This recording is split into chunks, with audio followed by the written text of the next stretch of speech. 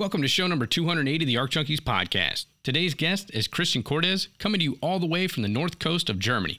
Christian is a bit of a welding guru, and we get into topics of gas metal arc welding and gas tungsten arc welding and discuss the differences between welding in the States versus welding in Europe. There's a lot of differences, but there's also a lot of similarities. I had a great time chatting with him, and we have an awesome conversation. We'll get right into it after a quick word from the supporters of the show. Today's episode of the Arc Junkies podcast is brought to you by Everlast Welders. They make great machines at an affordable price. Whether you're just getting into welding or you've been in the game for a while now, Everlast has a machine for you. Check them out today at everlastwelders.com to view a full selection of their stick, MIG, TIG, and multi-process welders and even plasma cutters. Everlast recently released the new Storm 215C, which is a stick, MIG, and plasma unit all in one. You can save money, time, and speed with this unit. The 215C allows you to cut all the parts and then weld them together all on one platform. You can pick up your Storm today for just 1300 bucks. And don't forget, if you buy any machine that comes with a stock foot pedal, use Arc Junkies in the comment section at checkout to get that free Nova foot pedal and TIG Torch upgrade. Everlast Welders. Weld mean, weld great. We're also brought to you by Rockmount Research and Alloys, makers of the finest maintenance rods and wires around. If you're a maintenance welder, or you're in the business of doing repairs on heavy equipment, warehouse conveyor systems, trailers, or you just weld in an environment that's less than ideal for welding due to surface contaminants such as paint, grease, oils, or other hydrocarbons, you need to check out Rockmount right now. Quit trying to use 7018, 6010, and 70S6 wires on dirty repair jobs. And what you really need is some Rockmount. These rods and wires are designed to weld stronger and last longer than typical electrodes. And how is that, you ask? Well, they have higher tensile strengths, higher percentages of elongation, and they weld at less amps to reduce heat input while you still get adequate penetration. Check them out today at rockmountwelding.com to find out how they can help you on your biggest welding challenge. Whether it's repairs, hard facing, or you just need better consumables such as bits, blades, and burrs. The folks over at Rockmount, they'll get you pointed in the right direction. Check them out at rockmountwelding.com. We're also brought to you by IsoTunes, makers of Bluetooth hearing protection. IsoTunes are both OSHA and NIOSH compliant to be used as hearing protection in the workplace. Now you can listen to your favorite music or podcast while under the hood without injuring your hearing. You know you need to protect your hearing. Why not make it fun with IsoTunes? Check them out today at isotunes.com and use code word ARCJunkies10 at checkout and get $10 off your first pair. They also make a sportsman edition for when you're out on the range. We're also brought to you by Lincoln Electric, the welding experts, your one stop shop for all your heavy duty industrial welding needs. They just released the all new 300C welding machine, and this thing is a game changer. Now you can run every single process on one machine. That's right, stick, MIG, flux core, aluminum MIG, and both AC and DC TIG welding with high frequency and a water cooler. The 300C also comes with arc effects, so you can actually see what your amps and bolts are going to do to your piece before you even pull the trigger. And as always, Lincoln PowerWaves come with free access to PowerWave Manager, so you can watch your welding variables live on a laptop or external monitor to ensure you're following the given amps and heat input for the various types of work. And don't forget to use the ArcJunkies10 coupon code and save 10% on welding machines and fume extractors, or use ArcJunkies20 to get 20% off all gear and accessories when you go to store.lincolnelectric.com. Lincoln Electric, the welding experts. All right, everyone, you know what time it is. Fire your machine, drop your hood, and turn me up five.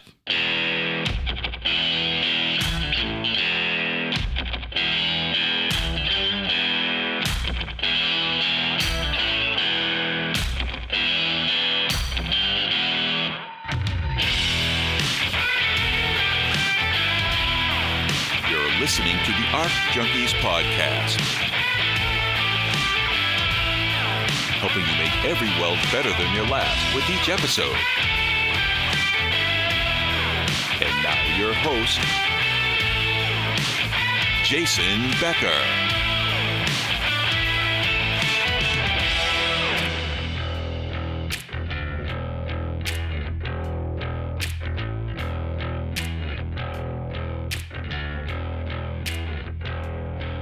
All right, Chris, thanks for coming on the podcast, man.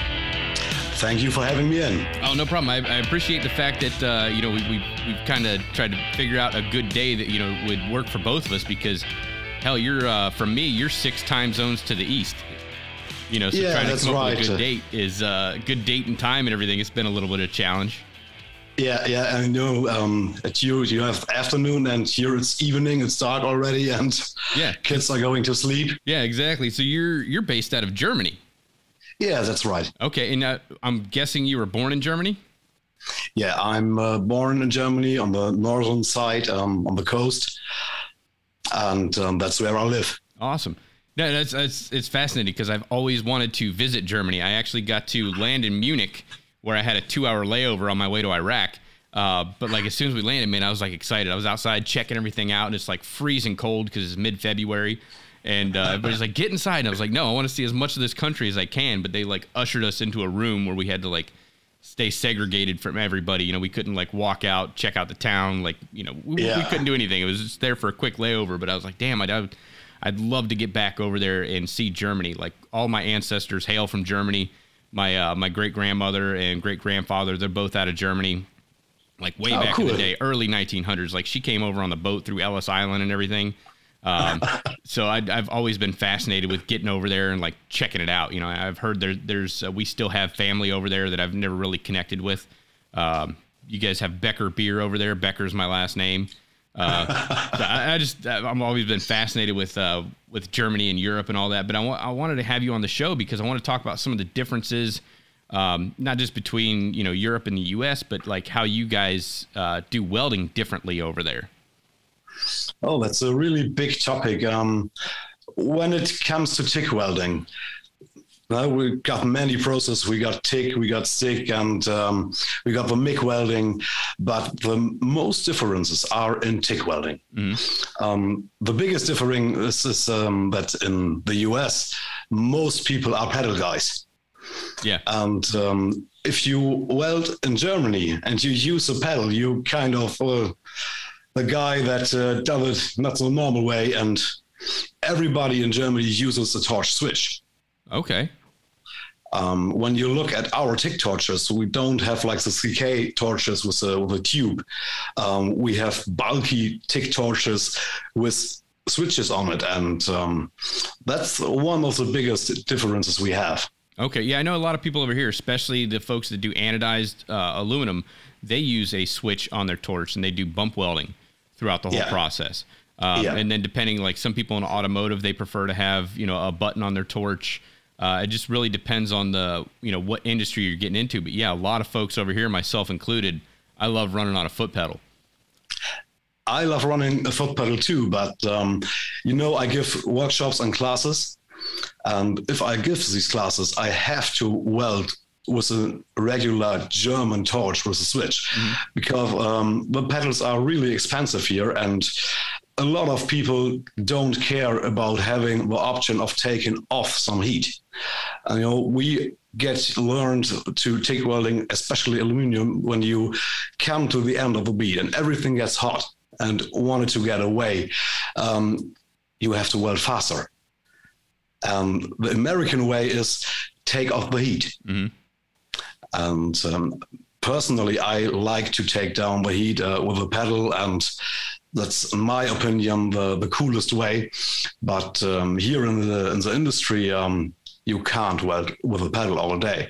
We weld really, really big stuff and and like 50 meter long aluminum constructions, and you don't want to take a pedal 50 meters with you. Yeah, I could see that. Now you gotta gotta you guys gotta look into the wireless foot pedals. They made some advancements in technology. You can just drag that thing all over the shop with you. But I, yeah, I see yeah, your point. I, like just having everything right there on the torch, you know, makes life a lot easier. And then just being able to control heat input through speed. Yeah, yeah, um, it's a complete different um, different understanding of, of how to to react to the paddle and the heat in the part. And um, you know, we don't use the 4T, uh, 2T mode. We use only 4T. And um, for long beats, we just bump the trigger on the torch. The arc comes on, we weld, and when we want to end the weld, we tip it again. Mm-hmm and um, we have some machines that are able to to give us some control about the amperage while welding with up down switches you can um, take five amps down five amps up or 10 um, just how you want but every little motion you have to do with a finger on a torch means motion on the tungsten yep and, and you'll be able to see differences in your weld yeah, yeah. Um, mainly because the, the industry asks for fast welders and, and effective welders. Um, you don't have time to, to run to your machine, take off 20 amps, run the next beat, and um, they just want you to be fast mm-hmm. and as fast as possible. Now you, you guys have a lot of different machines over there. So like we're in the US, like our, our top two competitors for like industrial, you know, heavy duty machines are Lincoln and Miller. And from what I've heard, like over in Europe, you guys have like 40 different manufacturers of like yeah. high end welding machines. And like over here yeah. in the US, we, we've got two. Yeah, I know that um, we have one Miller dealer right here um, in my area, um, but Miller is not a not a well-known brand here in Germany or in Europe. Uh, Lincoln a little bit more. They start to raise up here, and um, I will get a Lincoln machine on the net read and uh, try out what the Lincoln machine can do. Mm. But um, as you say, we have over 40, um, 40 um, manufacturers of TIG welding machines. And personally, I weld with a Weco, which is an Italian made machine, um, a handmade Italian machine. So, um, you know, when it comes to, to um, getting known a machine and and searching for the right machine um, you guys have two. And here you stand before the 40 manufacturers and everybody wants to tell you that their machine is the best. Mm-hmm. and like i know fronius is like slowly making you know cutting out a corner in the market over here as well. And like going from a lincoln or a miller to a fronius uh, i mean there's a lot more settings and stuff built in there because you guys take welding to the next level yeah, when it comes to to settings, um, I think we are a little bit crazy, um, mainly because we don't use the pedal. So um, the setting has to be perfect, mm-hmm. and um, the setting has to be perfect for a good start, for a good beat, and for a good ending of the weld. So when I try to set my machine I always use a hot start on aluminum. I can start with 150 amps, and after one second, the machine goes down to a 100 amps, for example. Okay. And um, with the Weco or a Fronius or a um, you know all the other manufacturers we have here. We can do crazy stuff. We can combine ac and dc welding in one process. So it makes the puddle really really acting um, not like aluminum more acting like stainless. Wait and, what? you, you, so you yeah, guys, you, you can like during your arc on time you have the ability to switch ac and dc while you're welding yeah, yeah, you're right. Um, the best example is um, you take your regular AC welding. Mm-hmm. Um, maybe let's talk about the balance of, of 70% EN and um, let's take 100 hertz frequency, which is pretty much a standard. Mm-hmm. Um, then I say, okay, I've got a cycle time of one hertz and within this cycle, it's like a pulse cycle. I say, okay, run the AC side for like 50 or 60% of the cycle, and then run the DC side on the other time. So while I'm welding, I combine both processes, which means the machine just don't make your regular AC sound. Mm-hmm. It switches back and forth.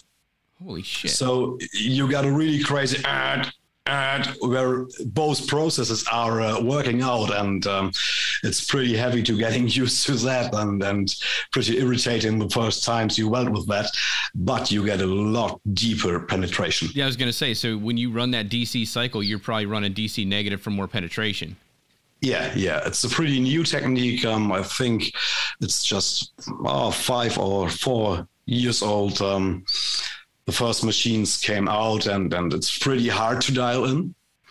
Um, because you have to that's the AT time, the AC time has to be um, in a good in a good way of the cycle, so you get enough cleaning. Mm-hmm. Also good penetration, but let's take a, a standard weld, um, like a like a fillet weld on some five or six millimeter um, aluminum. I can get almost doubled penetration with this process. and then you don't have to worry about the tungsten destroying itself because you're you're constantly back and forth. Yeah, yeah. Um, let's say a 2.4 millimeter tungsten. I don't know the, the inch. I think um, uh, I think 2.4 is eighth inch. It's uh, yeah, it's a um, it's a standard size tungsten. You know, we all use it for 200 amps, and um, normally you say on on AC with a tungsten like this, 200 amps, 210, 220 is the maximum. Okay, no, I was wrong. It's 330 second. Yeah, yeah, yes, that's right. You don't want to push that tungsten way over 200 mm-hmm. on AC. When I'm welding with this combined technique with AC and DC, I don't care about my amps. I weld this tungsten up to 350 amps. Holy shit. Okay. So we take the, the AC part and give it maybe 180 amps for the cleaning. But for the penetration side, where I weld in DC, I push full 350 amps out of the machine. Okay.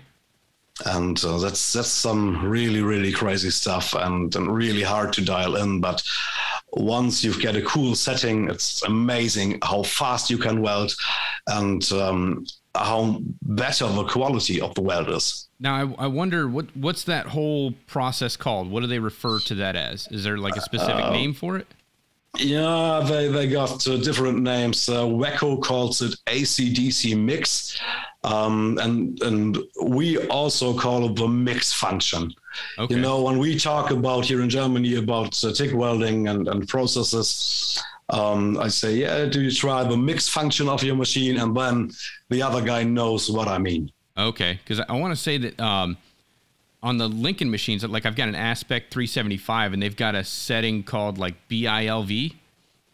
I'm wondering if that's what it is because I asked my rep. I was like, "What? What's, what's this BILV thing on here?" And he's like, "Oh, that's they use that a lot in Europe." So I'm wondering. Yeah. I'm wondering if that's it. And I've had this technology in my shop this whole time, and I haven't like had a chance to mess with it because I'm like, "Oh, we don't do that over here. You know, like Americans kind of get a lot of, you know, really ignorant about shit. And they're like, ah, you know, yeah. Europeans are using it. We don't need to mess with that. I'm standard AC, standard DC. Uh, so now, now you've intrigued me. I want to go back into the shop probably Monday when I get back and start messing around with BILV and see if that's like a, I'm guessing like bi-level to where it can switch from AC to DC, but I could be way off um, base. I think I think you're off um, because almost any machine here has a bi-level function. Okay. And and what this is is um, you know when we weld with a torch switch, mm-hmm. we have the 4T mode activated. Yep. Um, there's no hand on the trigger, and when I just bump the trigger for like 30 milliseconds, the machine goes to a second amp I can set the machine to, you know, I want 63% of my main amps mm-hmm. as my bi-level function. And with just bumping the switch, the machine goes down to 63% or 73%, just what I wanted at. And when I bump it again, it goes high. Okay. So that's just basically the same um, what you guys do when taking off a pedal. Okay. Uh, you can take your pedal way off to grab another rod of filler wire, or you just go back a little bit because everything gets hot. I got gotcha. And uh, we do that with just the bump. probably because you guys use the bump instead of the pedal all the time. Yeah, yeah, that's right. Okay. So now, have you ever messed around with like um, like Amphenol adjustments on the machine? Like I know we were talking yes. about it earlier, to where you can, you know, you, you're going to end up and see that in your weld but I know that certain manufacturers have either like a toggle switch where you can uh, drive your amps up or down as you're welding, or they have kind of like a, a, track like you would see on an excavator or something like that, like a little, like a long wheel, and you can adjust yeah, yeah. temperature as you're going. Um, as you might you know, I um, also sell TIG torches here in Germany, and uh, we we hand build these things. Um, the most common way is you have a switch. Okay. Um, and then there are two other ways. One is called up down, which means uh, you have a toggle. You can go up or down an amperage, um, but the machine has to be able to do that. You know, I, I put the finger on the toggle for up. and the longer I push the finger on the toggle, the faster the machine will go up in amperage or down, just what I'm doing. And the other way is um, the little wheel you talked about. Mm-hmm. And um, we sell these torches, but mainly they are not used for, for adjusting the amps uh, while welding. Um, it's more like you're standing on a, on a shipyard and the machine is like 500 feet away from you and um, you don't want to run to the machine to change your amps.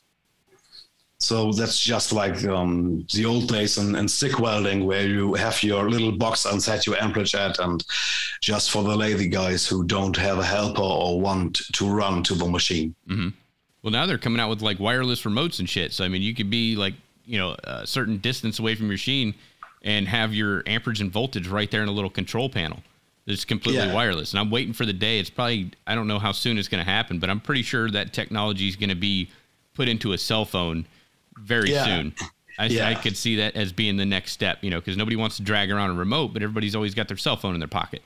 Uh, so being able yeah, to I, adjust your engine drive or your your machine in your shop, just you know, right there on the on the thing. I mean, hell, 3M just released their their G502 welding hood, and it's got a Bluetooth app, and you can yeah, monitor yeah. arc on time, arc off time, like all kinds of stuff through you know an app in your cell phone. Yeah, we got some uh, machines. Um, some machines from Finland, uh, Kemppi machines, which are really often TIG machines uh, where you can upload a screensaver with a picture. So you can say, my welding machine has a screensaver of my family or of my of my motorcycle or whatever you want. And uh, I got that machine here for testing. It had a, has a huge TFT display, and uh, I put my logo on the machine, which looks really really cool. But uh, yeah, that just was pretty pretty crazy. and we also also got some machines where you already can set like the MIG machines. You have a little Bluetooth box. Um, take that with you and set your process and your amps with Bluetooth. Oh, that's cool. So I want to talk a little bit about tungsten because, and, and correct me if I'm wrong, in, in Germany, probably uh, good parts of Europe, you guys refer to it as Wolfram, right? Yeah, yeah. So instead genau. of TIG welding, you guys do WIG welding. Yes, yes, that's right. Um, it's pretty, pretty awesome when I talk. Um, you know, you, just Instagram, you talk about TIG welding with so much people in the world, and um, sometimes when I talk to to people here in Germany, I also say tick mm-hmm. because I'm so used to it, and they they just look at me and uh, what are you doing? And you know it's called Vic, and uh, that's pretty funny. Yeah, this uh, my buddy Ryan Eubank told me about that, and I was like, man, that's like a little, that's like a cool piece of knowledge to have, you know, in your back pocket. Is like because on the periodic table elements, the tungsten uh, designation is W yeah. for for Wolfram. And yeah. you know, so I was just wondering if that's like, you know, that's what you guys typically refer to it, or is if you've adopted TIG, or if you, you know, still call it. Uh, well, I guess you because the uh, the pronunciation you call it, you guys call it fig welding or fig welding. Yes, yes, that's right. Because um, you know, the the full um, description is uh, Wolfram Inertschweißen. So um, we just say Wolfram welding. Mm-hmm. And um, it's the same with MIG welding. I think in the US, you call everything MIG welding. Um, doesn't care it's, it's steel or, or aluminum. And, and here we only say MIG welding when we weld aluminum. Okay, because you're actually using an inert gas at that point. That's right. That's right. Not because you have um, like a mix of active and inert gas in there. So like the, yes. over here, you get people that call it MIG welding, and then you have like the highfalutin people that are like you know uh, really high into codes and specs. It's like I, I got a buddy, uh, Dr. Scott Helzer, and when I talk to him, I know that I can't say MIG, TIG, or stick or anything like that. I have to refer to it as um, gas metal arc welding. or you yeah. know gas tungsten arc welding or shielded metal arc welding i have to use the actual you know per, uh, appropriate or, or proper terms you know, yes, when, yes. and it depends on who you're having a conversation with. But if I'm chatting with somebody on Instagram or you know just MIG, TIG, stick, whatever. Um, but yeah, so you guys you guys only call it MIG with aluminum. Now, when you're using uh, gas metal arc welding for steels and stainlesses, what are you referring it to? Is like it like mag welding for yes, yes, um, metal it's, active it's gas? called yes, it's called mag welding or mag welding in Germany because uh, the active gas. Okay. And um, here, when you talk to somebody about uh, MIG welding and and say MIG welding and you mean he has to weld steel, right? people get really crazy and throw a hammer at you because you used the wrong term. I can see that happening. so what are what are some of the other differences between like I, I mean just vernacular like what you guys call things over there and what we call them over here? I think that the, the, most interesting are TIG, WIG, and and all the stuff like that. Um, but I think if I think long enough, uh, there are many terms in welding um, or even in the metal production where um, Germans just say stuff a little bit crazy. It's you know we have an extra word for everything, so um, talking in detail to somebody can really funny sometimes. Okay, and then when going back to the Wolfram or tungsten, which uh, like composition do you prefer to do most of your welding? Are you switching out between like uh, E3 or ceriated, lanthanated for going from steel to stainless to aluminum, or do you have one that's like a good recommendation for all the different types of uh, alloys? Um, yeah, it's a little bit challenging because we use the, the transformer machines, um, you know, like so many years here in Germany. Mm-hmm. Um, the first transformer machines um, that had a, a, setting to to um, change the balance were developed here in Germany. So a lot of um, a lot of people only know transformer machines, um, especially the old welders we have here, and they use pure tungsten for the aluminum for the AC welding, and they use thoriated for the DC welding. And in the last two or three years, um, there was a big turnaround because uh, everybody said, hey, thoriated is uh, really not good for your health and all the shit like that. And one um, Binzel came out with their E3. Mm-hmm. Um, which is basically a 1.5 uh, lanthanated electrode with some other stuff. And um, nowadays, we have to have to differ that. You have um, two kinds of industries here.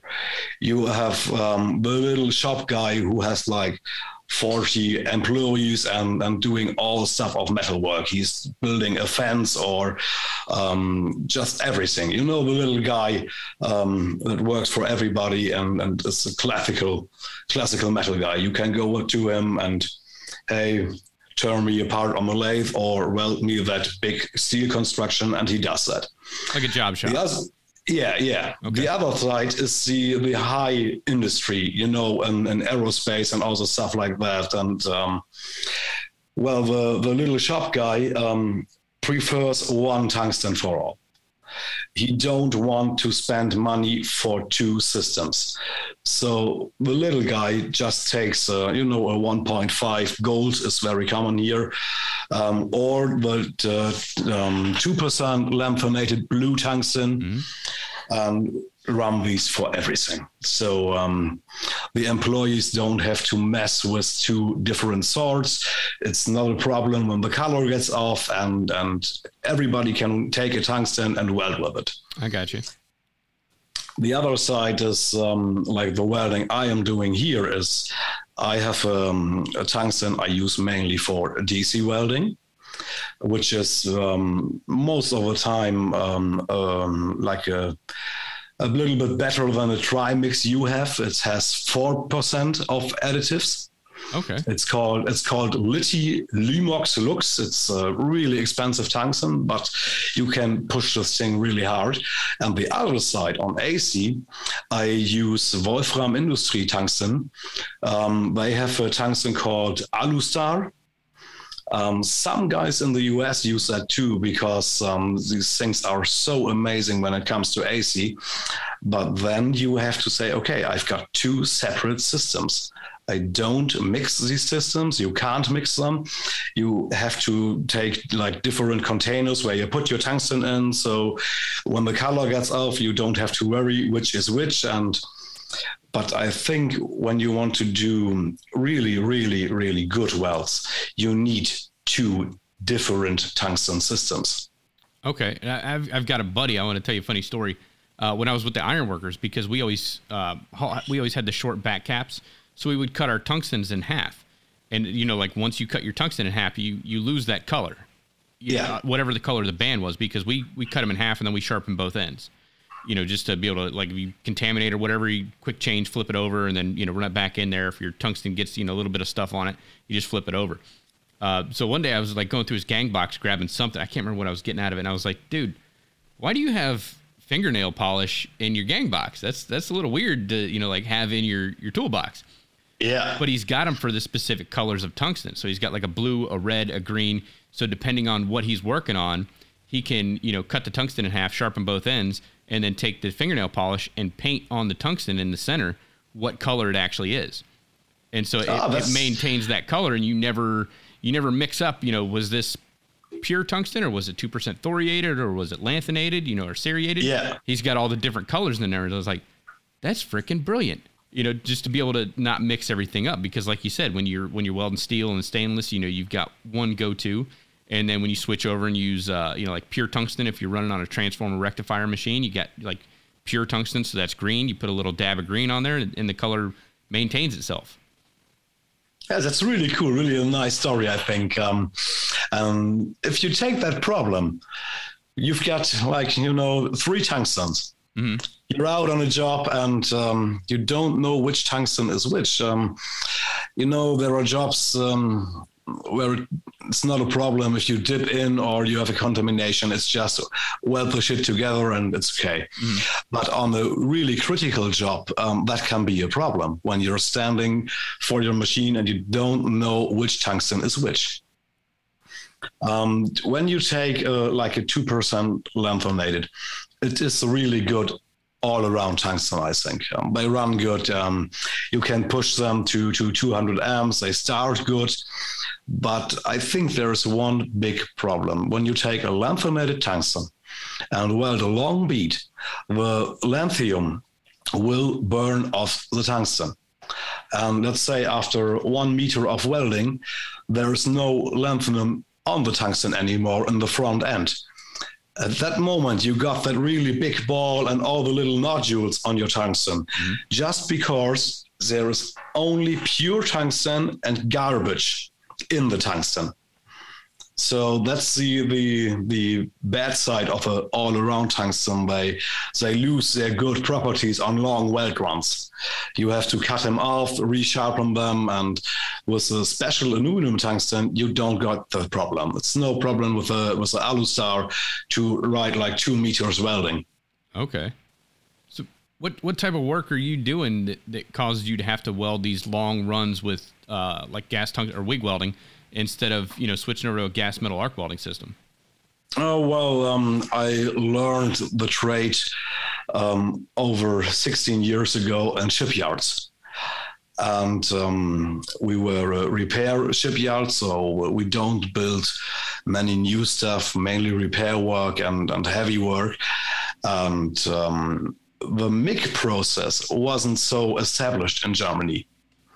So yeah, we know we can take a machine and and weld MIG with it, but um, we learned to TIG that stuff, and then you had a like a like a little life-saving rescue boat or stuff like that, and then weld some some aluminum plate on it. So the shop foreman came in and said, "Hey, yeah, I, did, I want this weld to be welded in one shot." And the weld was like two meters long, and then you just have to. Okay. it's just um, you know on a part where the weld is, is withable and we want high quality parts um, you don't want to see a starch stop like on the on the rail or something like that. It has to be perfect. Hmm And then I know in, in specific uh, specifications and stuff, your the the type of TIG or the type of uh, wolfram that you're using or tungsten that you're using, it's considered an essential variable. So you know if they say you have to use lanthanated, that's what you're using. You can't say, well, you know, I prefer two percent thoriated because that's what I've always used. It do- doesn't matter. What's it say on the weld spec? That's what you actually have to use. yeah yeah there's no way around um, when you take um, a weld test here um, let's say for example in, in MIG welding you weld with um, a mix of argon and 10% helium and you weld with a one millimeter wire. your weld test is only for one millimeter Ryo and this type of gas mix. Let's say I change the bottle and use a, a 30% helium mix. My weld test doesn't work anymore because I did the test on another gas. Correct. Yeah, we got the same thing here. We get uh, plus or minus. It depends on the percentages and stuff. Yeah, But like you'll, depending on the uh, the type of procedure that you're running, you can get like a five to ten percent plus or minus within Yeah, that yeah. within that area. when um, it comes to like um, the welding sheets we have on, on high critical parts um, we call that um, wps it's like a it's like a little sheet um, where the settings of the welding machine are documented and let's say i have to use a pulse process and on my machine i use it. It was program 9 and it's it's a program you can't change anything on. Um, you have to weld with program 9 and let's say like 30 volts. If you are a fast welder and you say hey i can get way more out of this so you don't you are not allowed. You have to use these settings. Yeah, that's I know they've uh, uh, welding equipment manufacturers have gone to the links of being able to allow supervisors, managers, shop foremans, whatever the case may be, the ability to set the procedure into the machine and then lock it.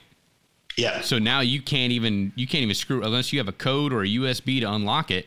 You know, if they set you on mode number nine with 130 amps, that's all you're getting. You can go over there and twist that knob as much as you want, but it's not going to go anywhere because that machine's locked to that Yeah, that's specific right. procedure. Yeah, that's right. Or um, sometimes you you weld parts. Um, uh, they take a little box, put that little box on your on your ground lead, and while you are welding the live part, they are recording like the amperage and all the stuff that goes through the ground lead, and um, you know uh, everybody sees uh, what you've done in that world. So That's um, pretty cool. It's, it's pretty crazy sometimes. Lincoln actually has it on their their Power Wave Manager. You can plug in an Ethernet cable, and I, like I've seen specific instances where they'll take a shop or a school, and they'll have like you know twenty different welding machines in there, and they'll plug the Ethernet cable into the back of it so they can track everything that's going on, all of your arc on time, peak Yes. amperage, average amperage, the joules that you're actually welding into, uh, like heat input, like everything, and then you can even hook that up to a monitor so you can look right over the booth or in that weld station and you can see exactly what that person is running. Their specific Yes. voltage and wire feed speed, amperage, like the whole nine yards. It's really cool uh, just to be able to have access to that kind of data. Yeah, it's really cool stuff. And um, here it was like 10 years ago that the stuff came out in the welding schools and at the test centers. And now we have this stuff in, in the normal job life. And, and it's pretty amazing how far technology has gone um, on this simple topic like welding. Yeah. That's one of the cool things. We, we just became an accredited testing facility at the school that I teach at. So, you know, like as part of like the gas metal arc welding or, you know, like doing like a pulse spray or pulse uh, transfer with those different welding procedures, I still have to calculate the joules or the heat input. But the cool thing Yeah. is like I'll still do it manually, but then I can look at the front of the machine while the person's welding and, you know, check and make sure that they're getting the right amount of joules. But it's like, uh, it's a good redundancy to say, Yeah. okay, yes, they're actually hitting, you know, what's on the welding procedure specification because that's a new variable in the 2020 edition of the code book is calculating heat input for gas metal arc welding processes because there's so many different variations of pulse spray and everything. You, you, you got to calculate the peak amperage. Uh, so just having that as a redundancy to be able to look at the front of the machine and say, yeah, my math was correct. Or, oh man, my numbers are off. I need to go back and, and do my math again to make sure that, you know, they're, they're following the procedure to, to the spec. Yeah, that's really awesome. It's it's pretty cool, like how technology. I mean, it's like you're you're welding with a computer now. So it's not Yeah. like I mean, the transformer machines back in the day they were great, you know, because they're they're built like a brick shit house and they're gonna last you know forty years or better. Uh, but like the new inverter with the amount of technology that's built into the system to be able to check and verify and, and tweak things, it's just it's insane. So you know, like Yeah. now's a great time to be a welder because understanding these different variables, what they do, what heat input actually does, what your wire feed speed does, or what voltage means, or you know, even setting up for your TIG process when you go through and you you have the ability to write your own sine wave you know when you're doing your Yeah. TIG welding with your your your frequency and your balance and all that other the pulse, the, you know everything that goes into it to make sure that you know when you put a part out, no matter who does the part, you can track the variables and say yes they they followed this procedure, and you know the part is you know once we put it in service, we don't have to worry about it. Yeah, that's right. That's right. It's uh, pretty amazing. Um, just in, in MIG welding um, here in Germany, many, many, many welds were done with pulse transfer. And, um, you know, Germany is well known, I think, for a lot of uh, steel welding um, in this process. And uh, like five years ago in our shop, we had um, some, some workers they had only one job. They had a little uh, chisel and they take off the little nodules from the from the short transfer MIG welds. So there were like five people that had this job, and you know, coming off the street and getting like ten bucks an hour. And uh, now we use the pulse transfer, and, and these people don't have a job anymore. So that's the other side of all this technology. Yeah, because you don't have to ta- take the spatter off anymore. There's no spatter to Yeah. be had. Yeah, that's right. That's right. Damn. Yeah, and I guess that would that would make sense. You know, you switch over to a pulse spray transfer, the spatter's gone. Yeah, that's right. It's And, like my you know, buddy these- uh, Nate Bowman always says, like the best anti spatter you can have is the correct settings. Yeah, that's right. If you get the machine dialed in, you shouldn't have to worry about spatter. It's no it's no longer an issue, especially with pulse spray. And if you got spatter with pulse spray, your settings are all jacked up, or your contact Yeah. tip to work distance is, is way off. yeah, that's right. That's right. So now, how did you how did you get into teaching? Because you run like little workshops to do TIG weld. Actually, oh, hold on, I want to back that up. Uh, how did you learn how to weld initially?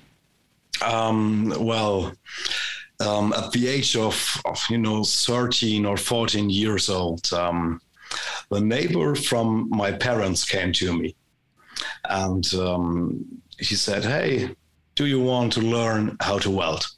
And uh, like a little kid I was, I was um, always outside and, and working on tractors and lawnmowers and stuff like that. And yeah, I want to learn how to weld. And this guy was an old pipe welder. So with my, you know, 13, 14 years, um, every day I came home from school, I go over to the neighbor and, and he gave me some old welding rods and just sat me in a corner with some, some garbage and I welded the stuff together. And um, that's where, where um, I got hot for welding, as I would say. And when I start um the career in the shipyards, and they said, um, you know, here in Germany, when you want to weld um, as a job, you have to do all the tests. But um, as a job shop guy, you always learn how to weld, even if you don't use it in your normal job, because they just say it's part of the education. Um, they did a really good job. They let us weld stick, they let us weld TIG and MIG and, and all positions and stuff like that. And they did it really good. So, so um, I got a pretty good basic to, to start out.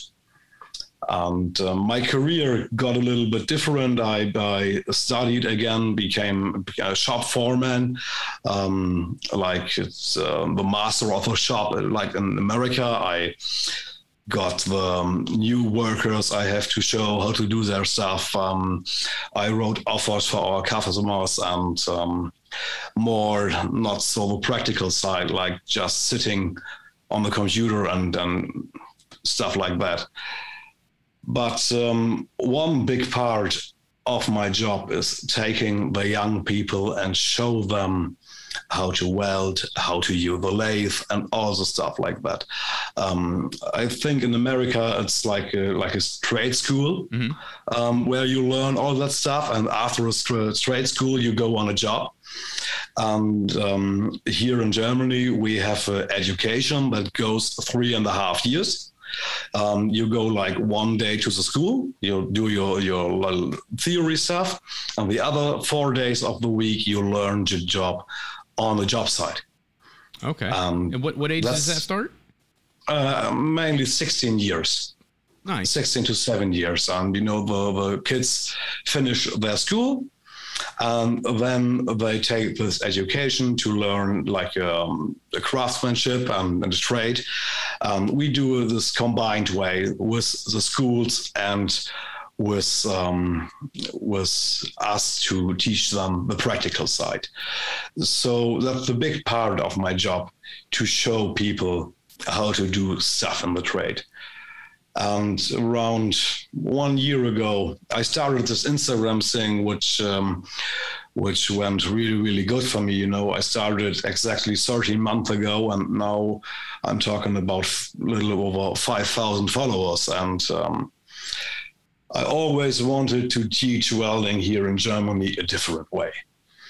When you learn welding in Germany as a hobbyist, um, you go to a like a like a trade school, and there are 20 people that want to learn too. And in front there is a, like an old guy and doing one weld, and hey, yeah, go into your welding booth and try on your own.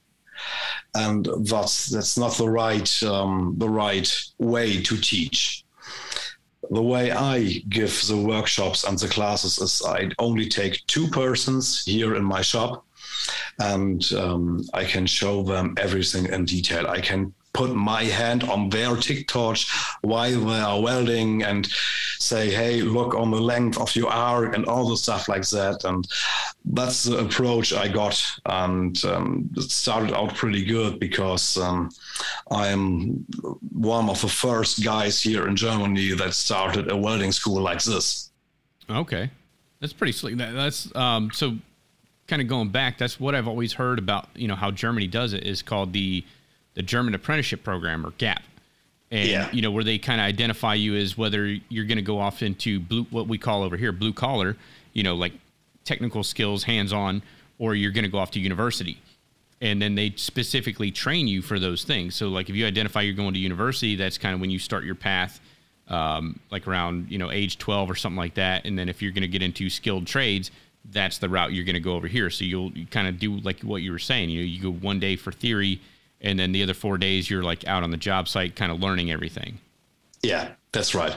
that's a really cool way to do it and i, I think we, we waste so much freaking time over here pushing people into into college it's like not everybody's meant to go to college you know let people do what Yeah. they're good at what they want to do you know like don't force them you know another four or three years in high school to go off into pursuing you know getting a degree when they've got all these these skills you know and they learn different than everybody else send them off into you know getting a skilled trades because over in Europe, you guys kind of value, and correct me if I'm wrong, but you guys value skilled trades just like you would, you know, somebody going into university.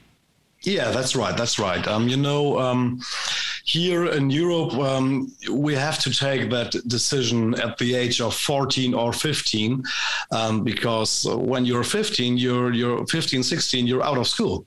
Um, then you only have have two opportunities. One is um, just go longer to school and, and do the university stuff, or go on the job. But when you go on the job, you have a, like a, a standard program. You know, um, we've got uh, pretty strong regularies how I have to teach these young people. And when they they got their little diploma after three and a half years, this tells everybody here in Germany, hey, this guy can do his trade. And that's one of the biggest beneficials, I think. And it's not like, hey, he's a tradesman or he's working like like with a hammer and stuff like that. And that guy did go to school longer and and did make more money. That's not the same here. Um, it's more like um, you can say that the um, the classical the classical craftsmanship is, is like on the same level as a employee of a bank or, or stuff like that. That's really cool because like over here for the longest time, like blue collar, you know, blue collar trades, they were kind of looked down on. Like, oh, you Ah, weren't you weren't smart enough to get into school, so you became a welder, or you know, you're not you didn't get a good enough uh, score on your SATs, so you couldn't get into law school, so you're you're an electrician. And it's like, no, it's I- have no desire to get into that type of work. I want to work with my hands. I want to be a carpenter. I want to be a welder, uh, Yeah. a plumber. You know, electrician. I mean, those are all honorable skill sets to have. because Yes, that's that's yes. the first person you call when when your septic system backs up, or you know when the power's not working in your house, or when the Wi-Fi goes down. God forbid. Like you're calling somebody blue collar that you look down on the other six days of the week to come out and fix your stuff. Yeah, yeah, and that's not the same here. Um, as a as a plumber or a welder, um, you're just a normal guy that just want to build stuff with his hands. And um, we've got a pretty good standing um, and stuff like that here in Germany. And if you go just one step higher, um, I think, let's say in America, you've got the normal worker, and above that, you've got the shop foreman. And here in Germany, I have to go two years to school, um, beside to my job in the evening, um, to become like a approved shop foreman. But if you are a approved shop foreman, which is called a Meister here in Germany, um, you're just the same like a doctor or, or anything else. So they don't look down on you. Okay. That's some pretty cool stuff, I think. You said they're called a Meister. Yeah. That yeah. I love that. That's freaking awesome. That's I've, I've always heard that term through through or thrown around, but I didn't realize that that's exactly what it meant.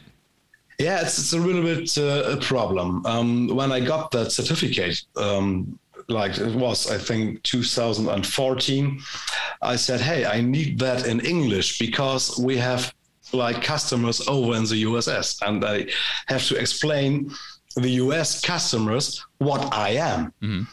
And they said, hey, um, you, you just can't say Meister. Uh, they don't know what that is. So um, they said it's like Bachelor of Metal Production Engineering and Head of Manufacturing. Shit. So, so, so this long term is what they said is what I have to say officially when I'm talking to a US person. But if I say that long term, uh, you know, nobody cares about that shit. Yeah. No, I, don't- I don't know, man. I think uh, Weldmeister is like a badass title. yeah, yeah, that's right. That's pretty slick. so now, what what what was it that prompted you to kind of start your own school or, or training programs to be able to like reach out and talk to people and, and train them in the ways of welding? You know, um, I've got a pretty good net, um, network here in Germany. I know many of the dealers. I know many, many of the manufacturers um, because of my main job. And after I started this Instagram thing, um, where I intended just to show my hobby welding, it became really, really crazy. Like people wrote me like 50 messages a day and how do you set your machine to do that? And how do you weld that? And after some months, they said, Hey, you can teach that stuff really good. I want to send you some money and say thank you.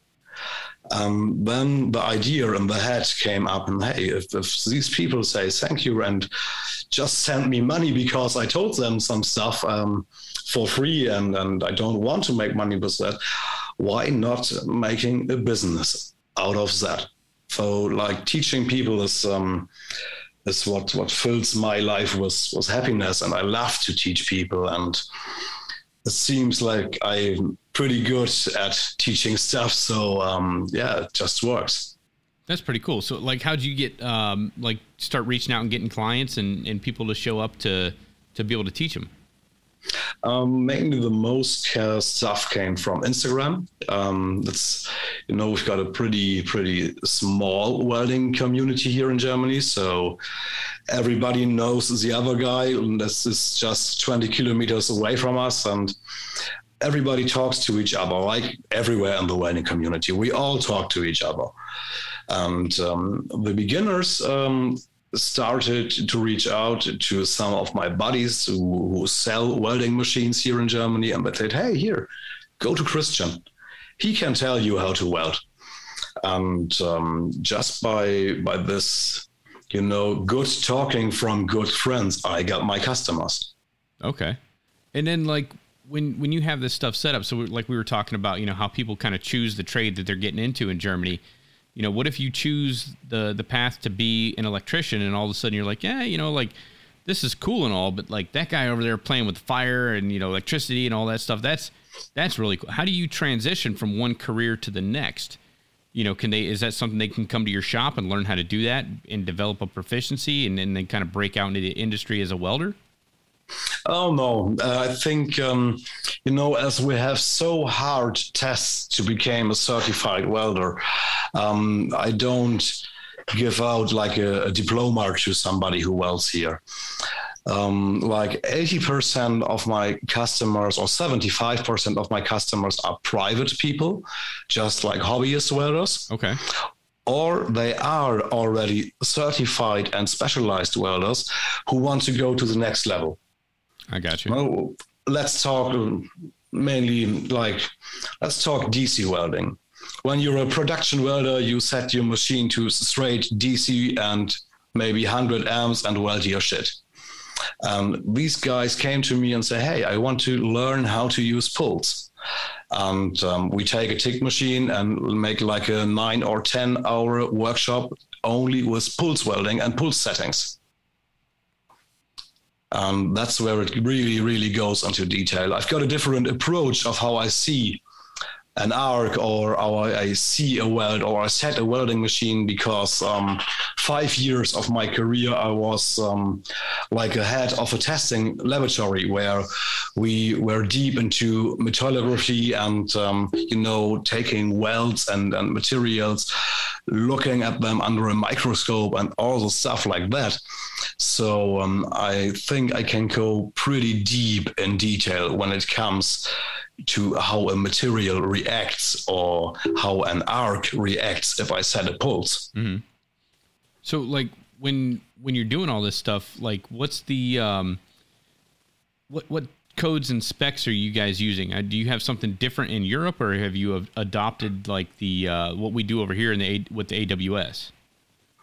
I think they adopted uh, most most stuff, and um, so just you know, somebody builds a product here in Germany, wants to sell it to the US, or like somewhere like in Italy, where is another code. Um, I think they are all pretty much like the same.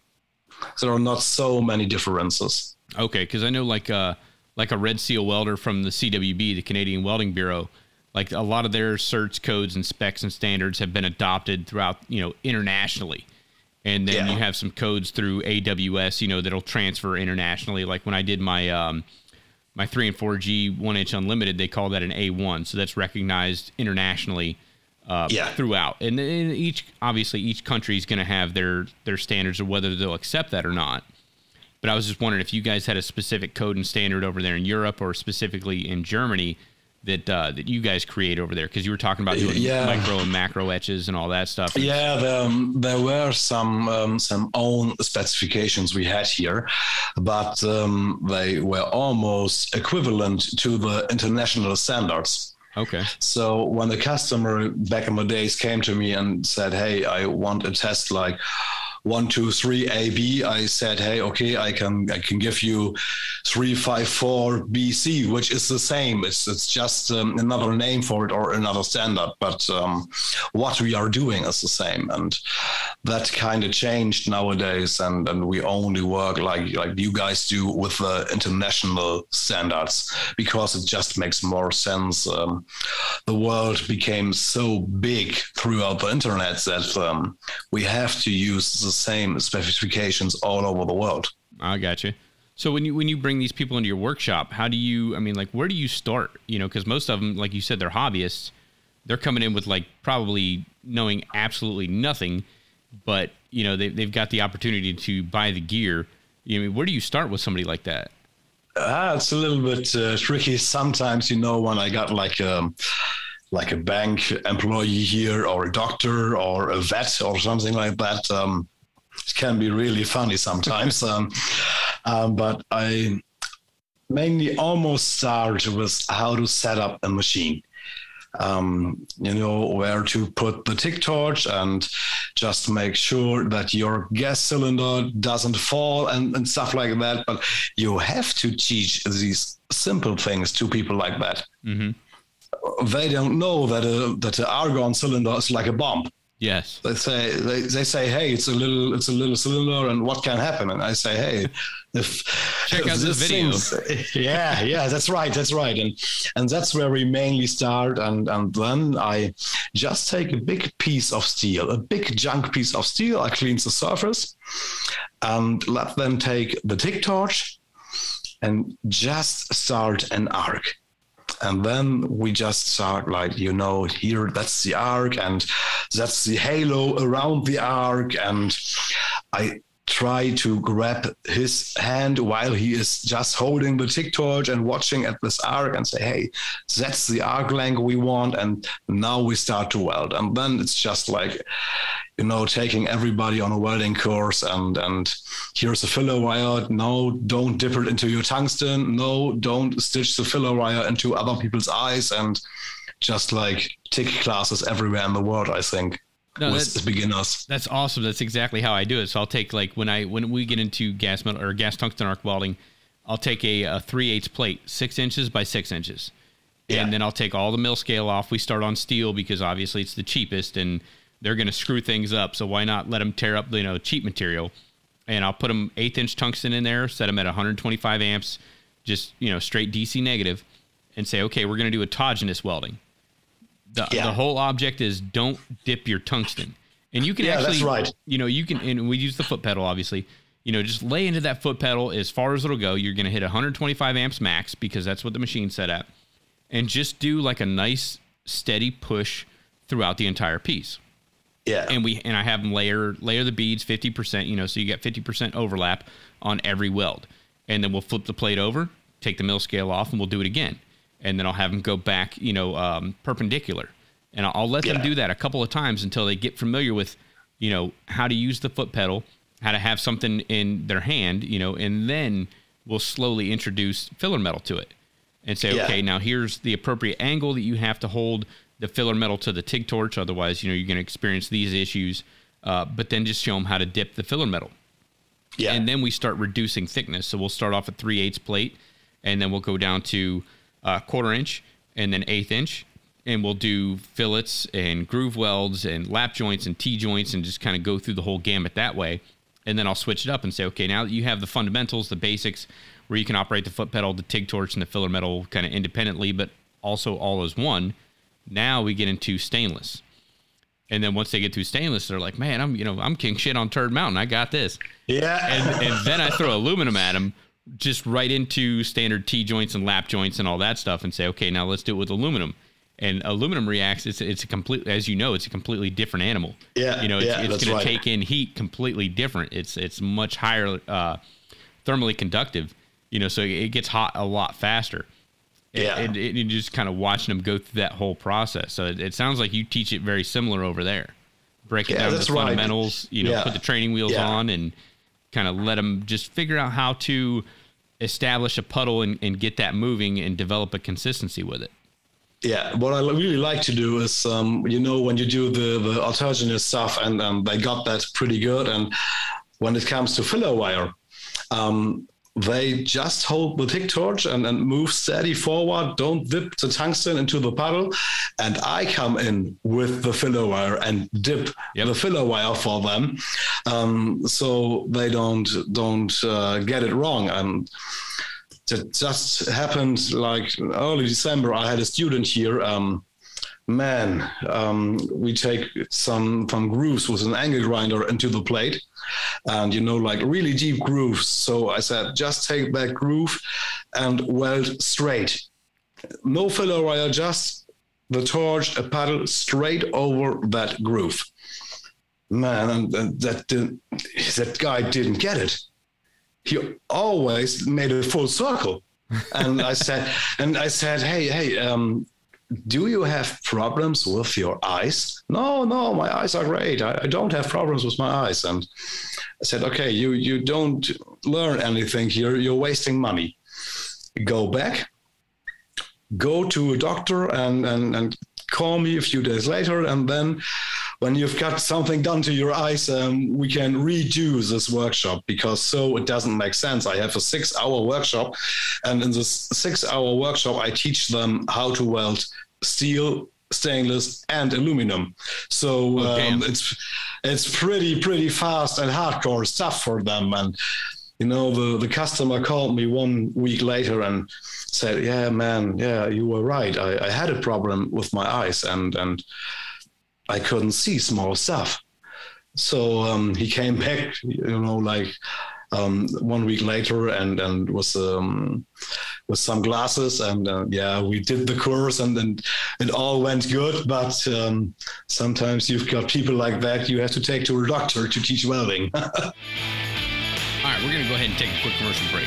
This segment of the Arc Junkies podcast is brought to you by Strong Hand Tools, makers of heavy duty welding tables, toggle clamps, and fabrication tooling to help you increase time, speed, and accuracy in your daily life as a welder and fabricator. And if you're a student, you can register your school right now for a free gift pack from Strong Hand Tool when you go to stronghandtool.com backslash Arc Junkies. Now let's get back into the show.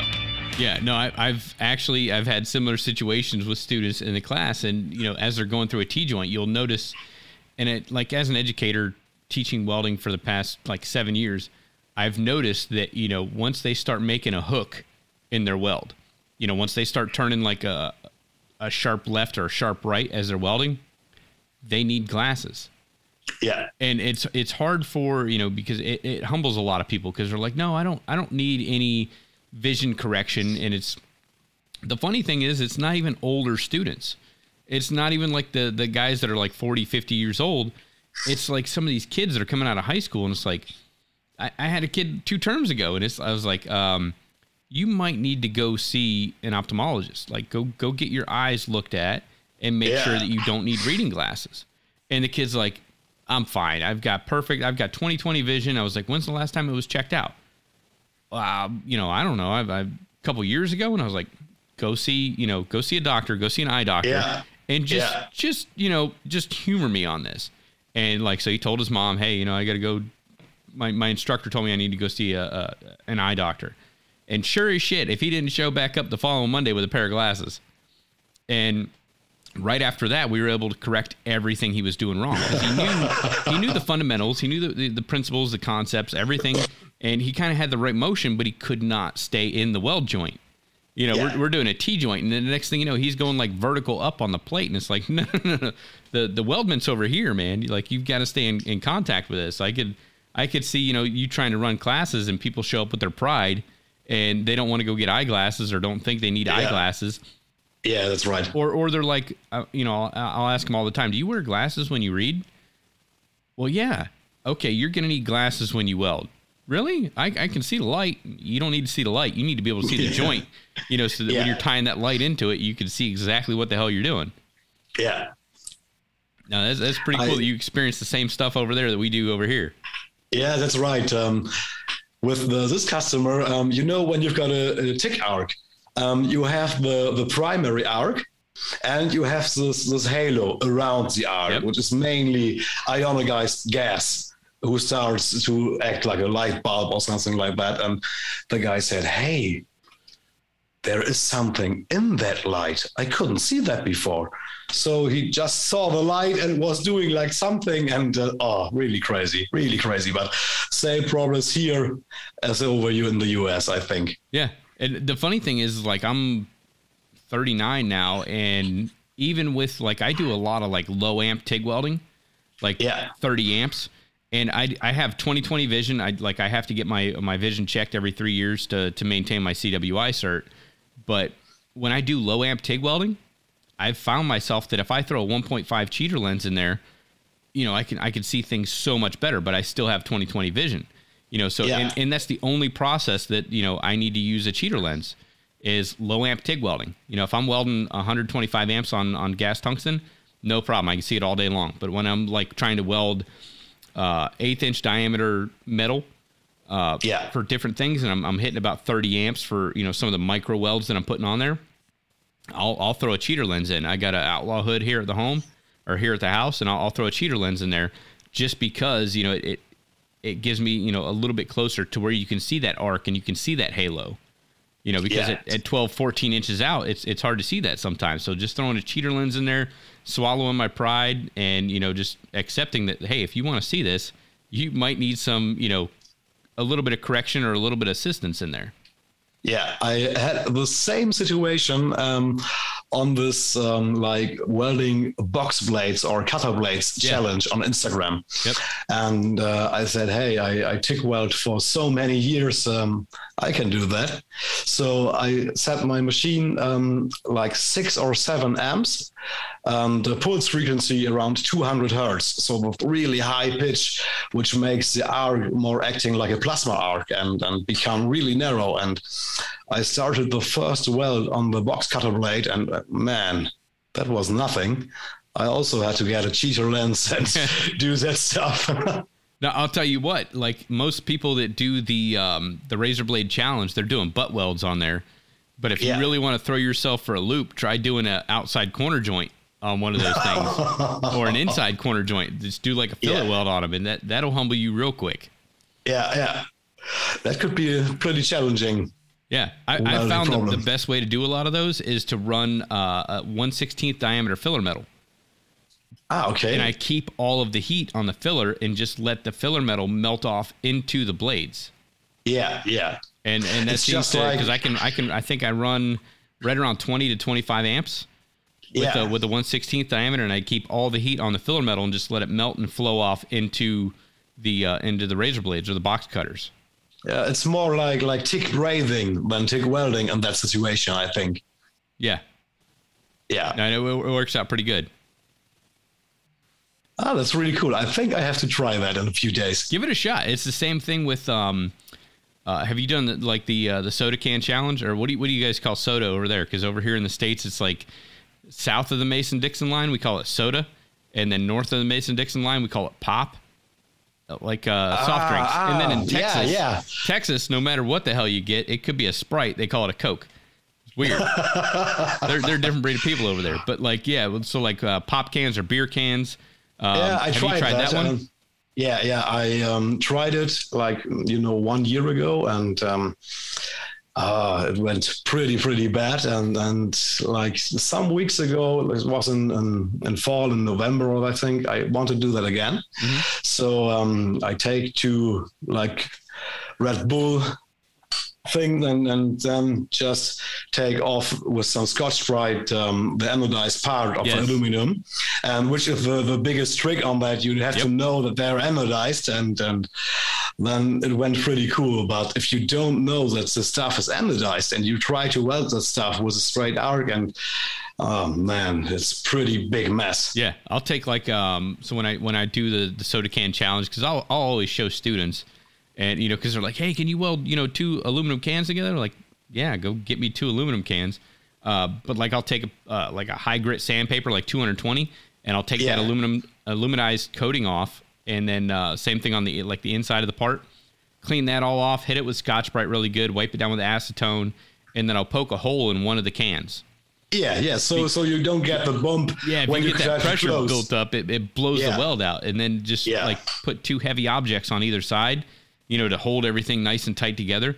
And then the same thing, I'll either use like a, a one sixteenth, or I'll, I'll peel off some uh, 045 diameter wire from one of the MIG spools, Yeah, and then I'll, I'll run that, and I'll, I think I run that like right around 20 amps with uh, probably about 70% DCEN, or uh, uh, yeah, about 70% ECD or DCEN, and then uh, and then weld that with uh, with a pulse yeah. like one and a half to two pulses per second, and it, it usually turns out pretty good.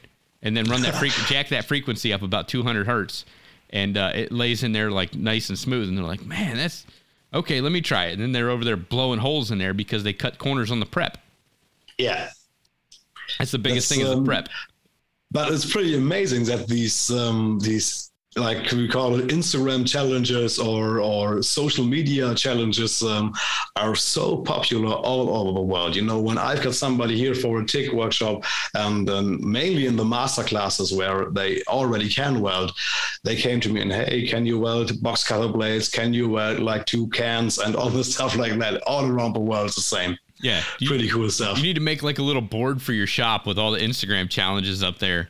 Um, Yeah, yeah. And, and just put like you know here's here's the aluminum can, here's the razor blades, here's the diamond challenge, like here's here's all the, the dodecahedron, the twenty sided uh, little three D puzzle that you can do, and just like Yeah. have that up on a little board and be like, yes, I can I can do all this and I can show you how to do it. Yeah, we had uh, a cool challenge here in Germany. Um, we take some one millimeter filler wire and uh, put two pieces of filler wire next to each other, and then weld the two filler wires in the butt weld. And uh, man, that was pretty hard. Um, my machine was at four amps, I think, three or four amps, and oh, damn. Yeah, it did turn out pretty well, but um, man, there were so many messages. How did you do that? What's the trick? And I got my machine down to one amp. It doesn't work, and you have to be really fast. You have to take a big FUPA cap and then. Uh, you know, big piece of copper around that shit, and really a lot of tricksing, and and just for doing this little challenging stuff. Yeah, so I think uh, OTC Daihen uh, just came out with a machine with uh, with Rush Kane, the RK.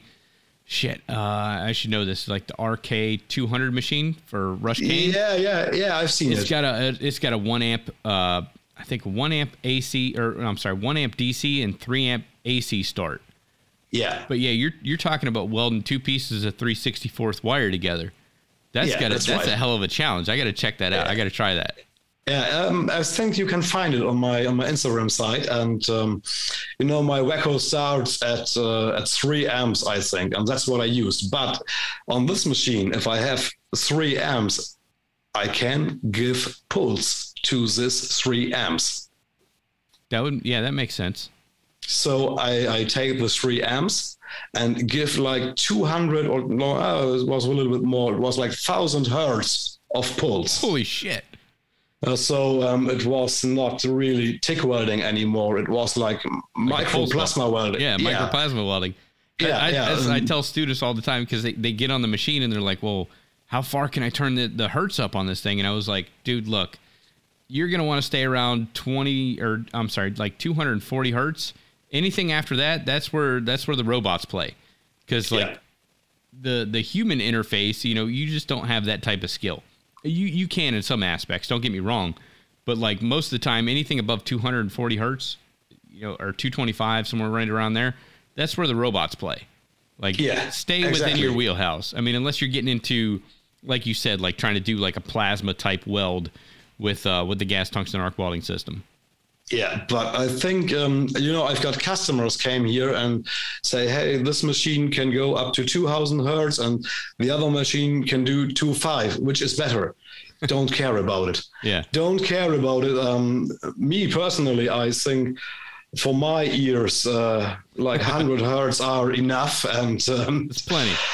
Yeah, yeah, but but these guys who, who want to weld with 500 hertz or 1000 hertz by hand doesn't make sense. You have any benefit from that. Right. I remember the first time I got introduced to, uh, you know, being able to adjust my hertz because, like, I came from a background of ironworking, and then I got into education and had access to all these pieces of equipment that could do all these advanced processes and advanced settings. Like, I ran a uh, Miller wave for for years, an old DC, you know, Yeah. AC DC rectifier.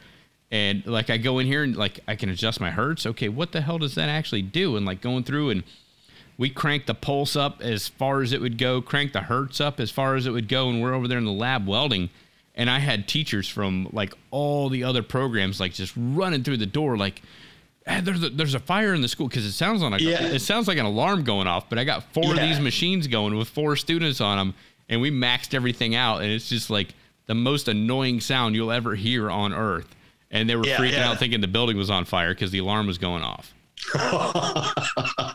That's pretty pretty hard, um, but it's right. You know, who knew, needs like like these frequencies? We don't need these while welding. Right. Um, not when welding by hand, I think.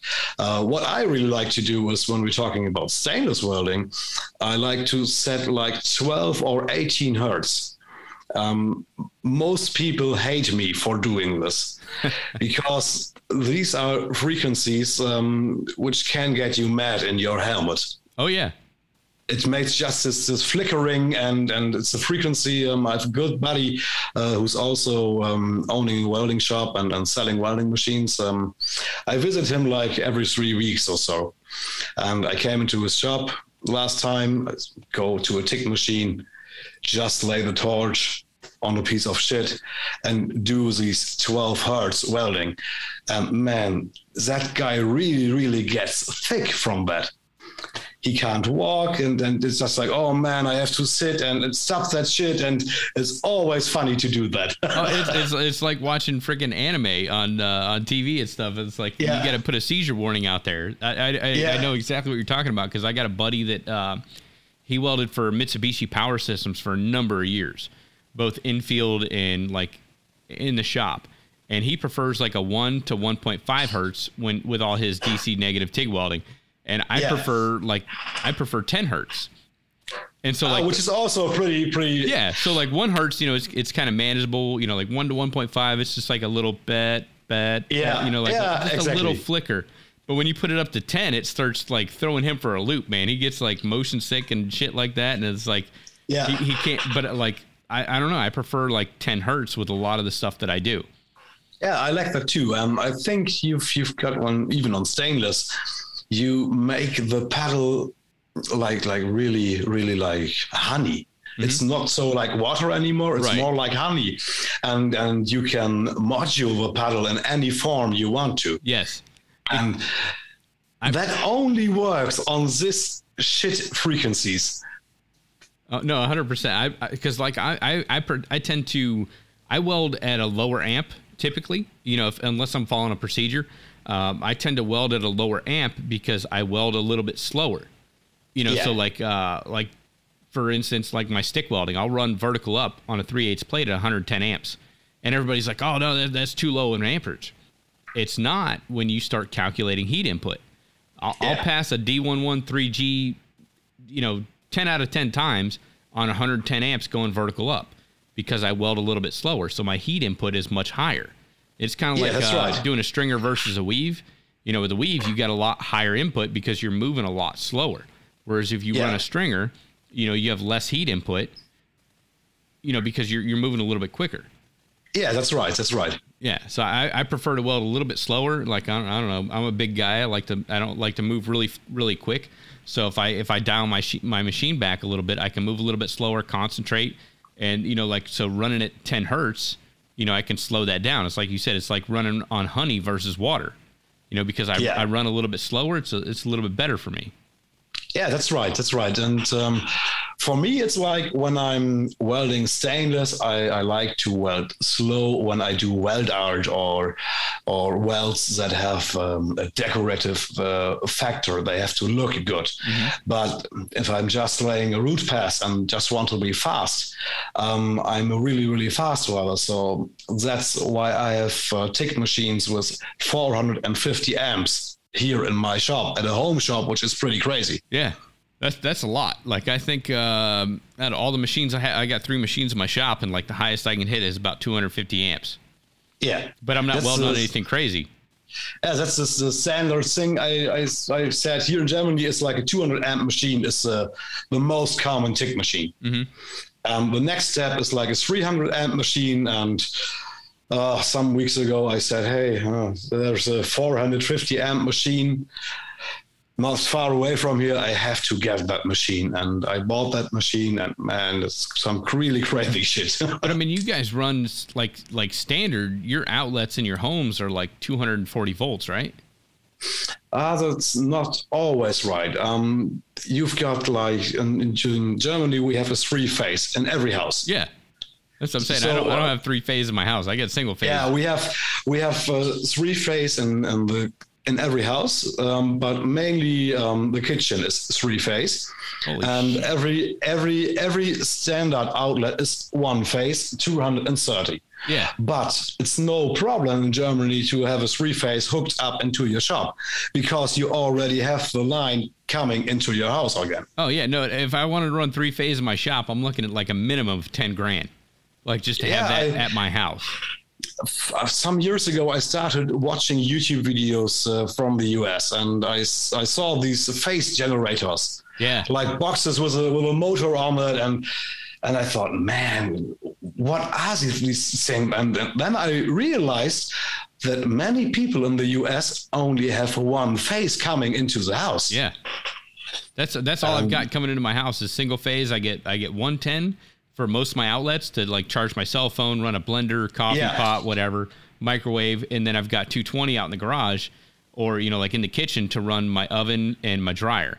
So like Yeah. anytime I want to weld, I got to unplug my dryer, piss my wife off because for some reason the only the only time I want to weld is when she's doing laundry. so I got to unplug the dryer to like fire up my my 255 EXT and it's like, you know, like I got to schedule my welding around her laundry or, you know, she's got to schedule her laundry while my welding. Uh, but yeah, Yeah. three phase, that's like there's no way I'm running three phase into my house. I mean, I can get like uh, I think American Rotary. Uh, my buddy um, down the street, Jim Bollinger, he's got like uh, a three phase inverter in his garage where he can take that 220 and step it up to you know 300 amps. Yeah. In inside of his shop, or he can run three phase in his shop because he's got the American Rotary, uh, kind of like a step up Yeah. to be able to do that because he, the same thing, you know, he doesn't want to pay 10 grand to hire the electric company to come run down and run three phase into his shop. Well, that's some pretty crazy stuff. Um, it was pretty annoying to me to see um, that uh, the US only have one phase coming into the house. And uh, the first times I didn't understand that. I said, hey, how do these guys run their machines at home? And you know, my shop, even for for German um, specifications, my shop is a little bit crazy. Um, I live in an old farm, and uh, it's a, like a 200 year old farm where I built a new house inside this old cage, you can say. And um, back was seven years ago when I started to build the thing, and I go to the electrician guys um, at the city and said, "Hey, I want 55 amps on every face." Holy So shit. I've so uh, you know on every face is a three phase they come into my house. I can blast 55 up to 60 amps. At 60 amps per phase, things start to get a little bit croaky at the neighbors. Um, the light goes a little bit a little darker, but um, that's even some crazy shit for for a house here in Germany. Yeah, I mean, like if I want to see that type of amperage and shit, I like I got to go to an industrial setting, you know, where they got Yeah. three phase coming in, and, even then, most of them are wired up to like a 30 amp breaker. Yeah. That's freaking nuts. So, so the normal house here in Germany has like 30 amps um, for the three phases. Damn. So when I go to them seven years ago and said, "Hey, I want 55 or 60," they said, "Man, are you crazy? What are you doing?" And at that time, well, I had a- blades in my garage. yeah, yeah, that's right. And at that time, I had a really big lathe. I had a really big engine lathe here in my shop, and um, it had like a 30 horsepower motor on it. And when you push that button, you know, my next neighbor is like one kilometer away from me, so I ben- barely see his light in the dark when, when I'm looking out of my window. But when I push the button of that lathe, his house starts to get really dark. And five minutes after that, he called me, "Hey man, did you did you turn your lathe on? Yeah, I did turn my lathe on. Oh, okay. I've got no TV, but it's not a problem. yeah, my TV's out, my Wi-Fi's out, my wife's bitching because Yeah. laundry can't get done. yeah, that was really cool. But uh, I sold that machine. It was a little bit too big. a little too much for, a the- residential home. Yeah, yeah. Damn. So let, let's let's switch. you- Do you still have time? Because I, I know it's kind of late where you're at. Ah, it's no problem. Okay, perfect. Let's let's talk cup sizes. So like uh, when you're doing uh, most of your steel and stainless, like what what size cups are you using? And then when you switch to aluminum, what size cups do you prefer? Well, when I weld steel, it's mainly the, the number seven or number eight with the gas lens. Okay. um, just the standard um, on a 20 style torch. Um, they're not long, they don't need much gas. Um, for steel, it doesn't have to be that perfect. Uh, sometimes I like to use a Jazzy 10 from, from Michael Furick, which, Yeah. which I really like. When it comes to stainless, my main cup is the Fupa 12. Okay. I I think that that little little cup became a standard in the worldwide industry Yeah.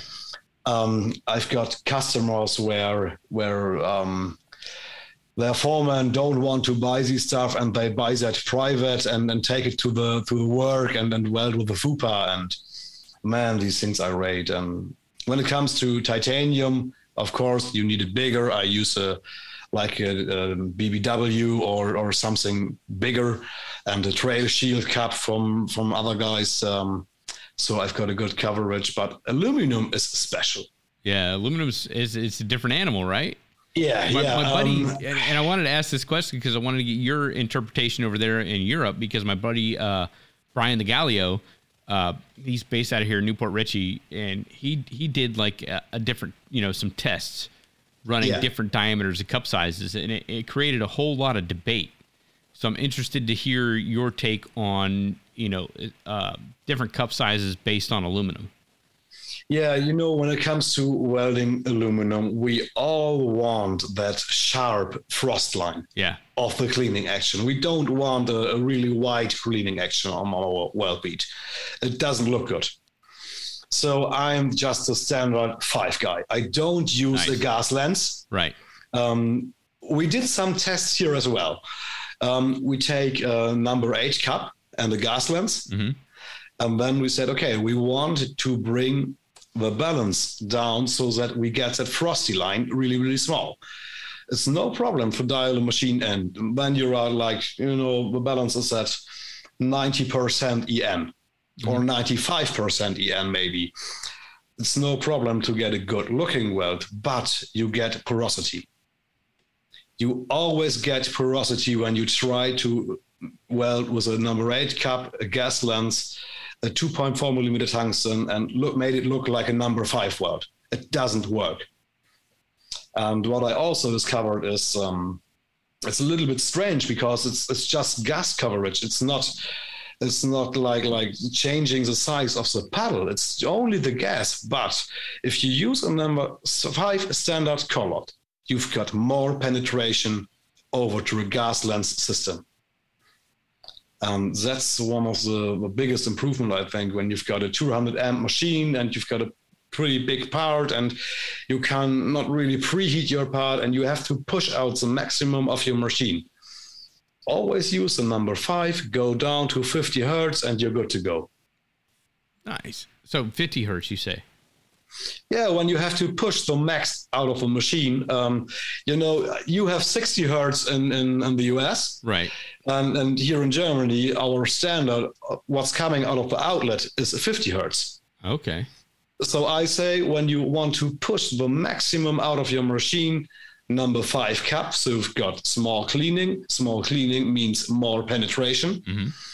and just low frequency to push the maximum out of the machine. Nice. Yeah, because now that with the once again with the different technologies that's come in with welders, we can adjust that that frequency much lower than what we typically get out of our outlets, or yeah, yeah, much higher. Yeah, I think with my my Weco I can go to 20 hertz. Yeah, 20 hertz is, is the lowest nice. on that machine. Okay. So yeah, because that's like the biggest misconception is like, oh well, you know, because everybody sees the the Michael Furick cups in which he makes a great freaking product. The the Jazzy 10, the BBW, the the Moose yeah. Knuckle, like all those great for steel, stainless, titanium, you know, all those different types of uh, exotic alloys. But when we get into aluminum, I've I've I've heard, you know, kind of mixed reviews on running a gas lens at all. But most of the people that run like high end aluminum, like really clean looking stuff, they're they're running like a, a number five and number six cup standard collet body. Yeah. I had this um, this topic with guys all around the world. I um, I really was was interested how other people do it, and because when I look on YouTube or Instagram, um, most guys in the US have their standard five collet standard on the on the torch and no gas lens, and I talked to you know Jody from from Welding Tips and Tricks, mm-hmm. and uh, talked talked to Roy Crumrine, and and everybody said, hey, I use a number five too if I have a bigger tungsten, I use a, a, number six. Right. If I if I have a really small tungsten, I use a number four, and that's what what I prefer to. It's in my eyes, it's uh, the best thing you can do on aluminum. Even if you take, I made the test. Even if you take a long collet um, or a long gas lens, and the cap, um, let's say a number five, really long, uh, and try to get the same effect out of a gas lens setup it doesn't weld the same. Um, you know, you've got the same diameter of the of the exit from the um, from the cup, but it doesn't weld the same like the standard number five with a collet body.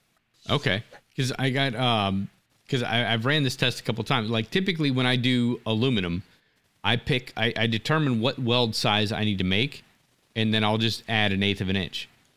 So Yeah. if, if I need to run uh, a three sixteenths diameter or a three sixteenths width weld, I'll run like Yeah. a number five cup because the, the the numbers are based off of cup size. Is it? Yeah. Just just out of curiosity, is that the same in in Europe because you guys are on the metric system? So Ah, do you use a number five for a five sixteenths weld, or do you use do you convert it to millimeters? there's, there's something really crazy on that. Okay. Um, it's it's, uh, it's a really really cool topic because um, you know um, you've got your CFH for gas flow. right. You guys have what? Um, uh, we use we lose um, liters per minute. Yeah.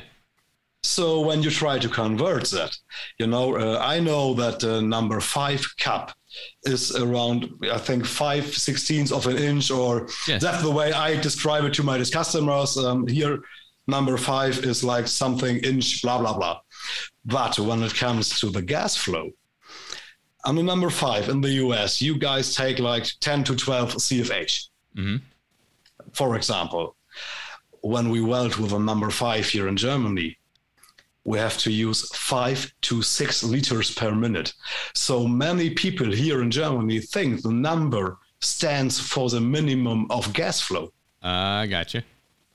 And um, when I talk to, to employees or to customers and say, hey, this doesn't mean workflow or gas flow. It's just a crazy shit because they use the imperial system, we use the metric system, and for them, it's the size in sixteenths of an inch. Mhm. But when you take this cup in Germany and say, okay, it's a number five, I have to use a minimum amount of five liters argon per minute. And so that's a pretty cool, cool topic, I think. Oh no shit! So that that that, equation actually works out. So if we use like a five sixteenths over here, you're gonna run five liters per minute over there. yeah, that's Whereas right. I would probably run twelve cubic feet an hour. yeah, that's right.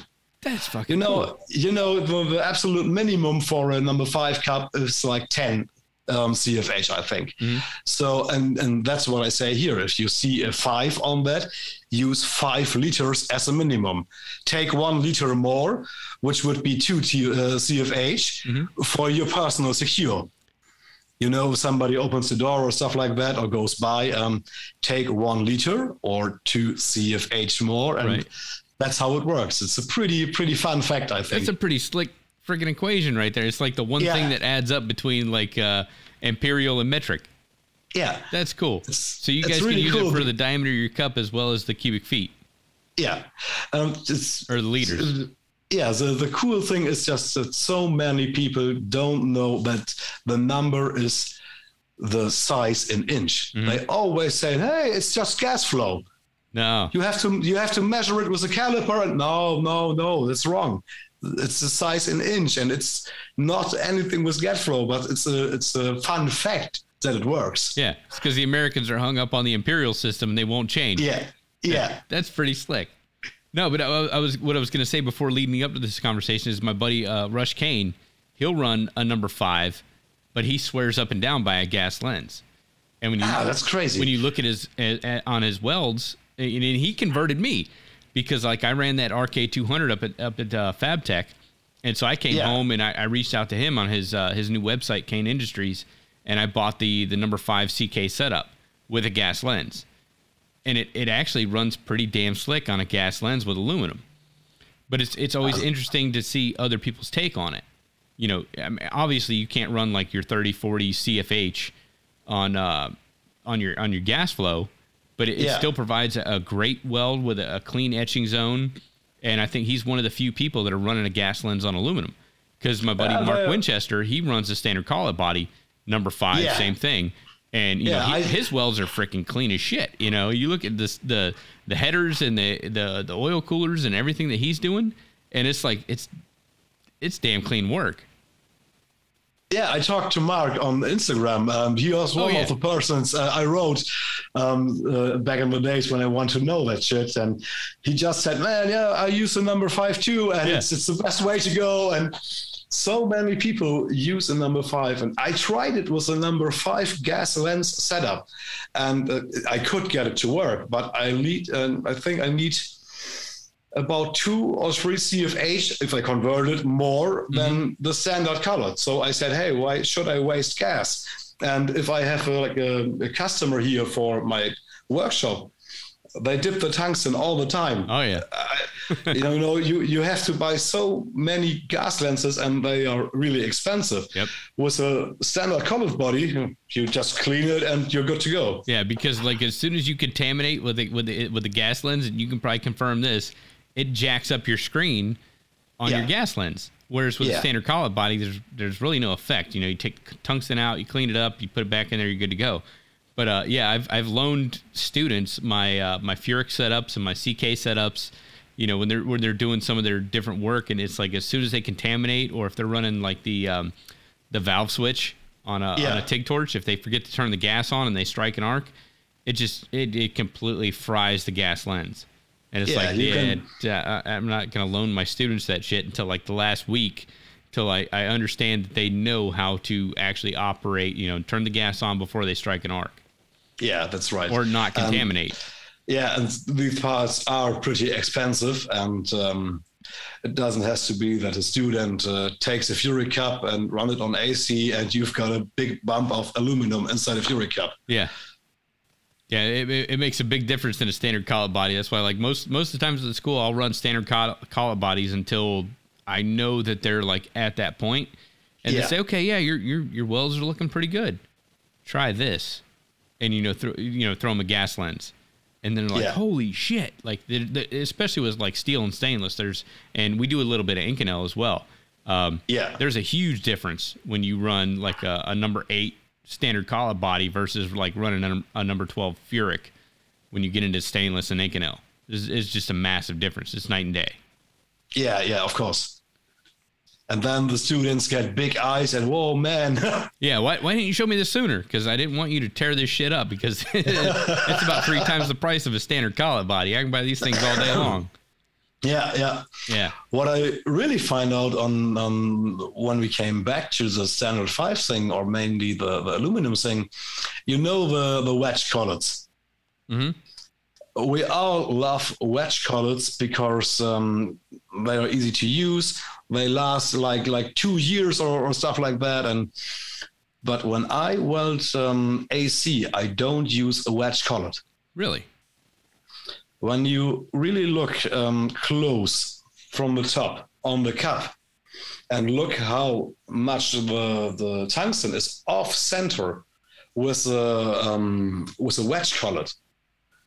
Um, I find that when you use a standard collet, you can really center the tungsten in.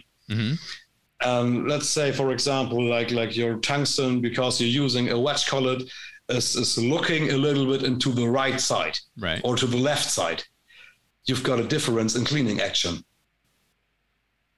Oh damn! You yeah, that's and the the frost line. Um, I made some some really really thin aluminum parts, like like for a little tank, but it was really really small material.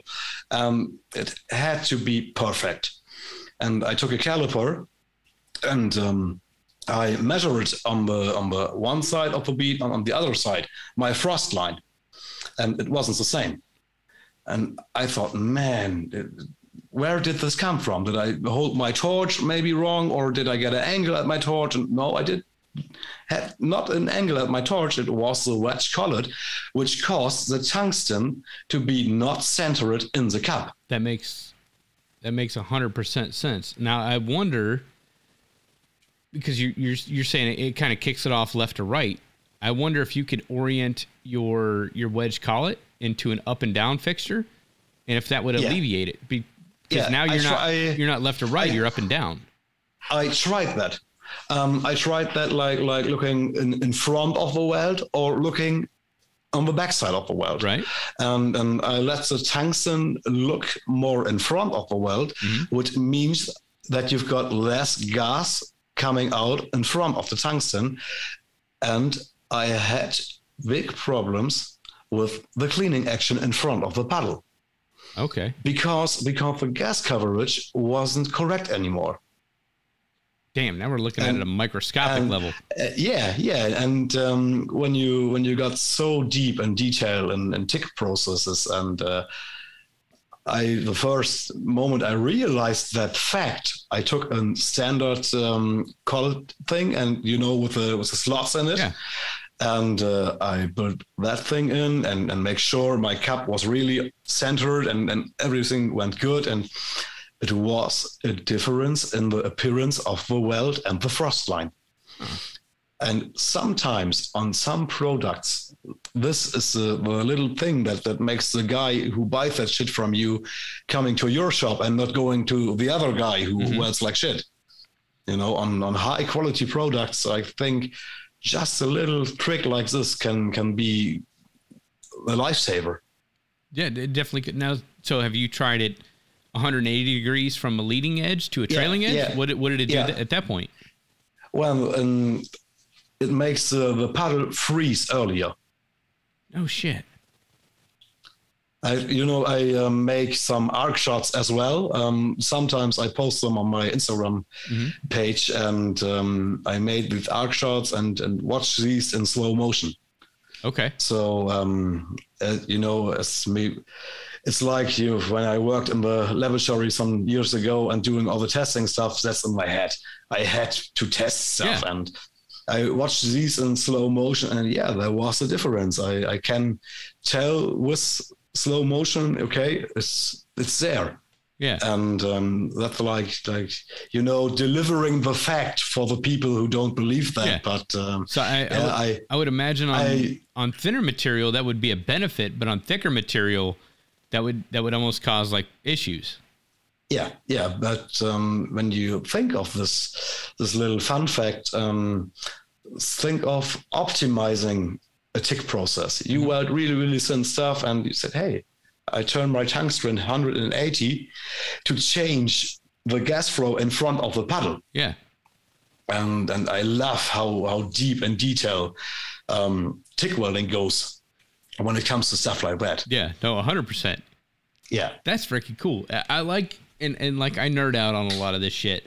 Uh, you know, like the just the the the nuance of the different processes and what you can achieve and what you can't achieve and and you know the things that actually matter like when we talk about a spray transfer having to get yeah. into like an 82% argon composition and, and, you'll have people that argue all the time that no I, I can get into spray transfer at, at 75 25 gas no you can't but i mean like even just clocking your you know the collet body on your tungsten yeah. has such a dramatic impact.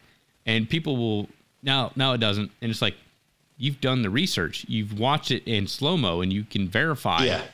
Yeah. that just you know the position of of of a wedge collet body over a standard collet or I'm sorry uh the the wedge collet versus a standard collet how yeah. that actually changes the overall appearance and you know of your weld